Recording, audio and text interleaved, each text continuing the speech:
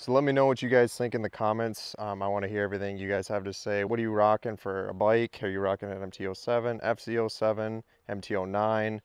Whatever it is, let me know. I want to hear all about it. What are you doing to the bikes? You putting exhaust on?